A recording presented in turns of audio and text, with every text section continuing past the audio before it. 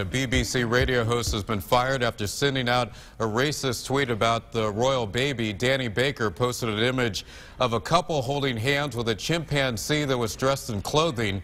The caption along with it said, Royal baby leaves hospital. Baker later called the post an enormous mistake, but the BBC still showed him the door.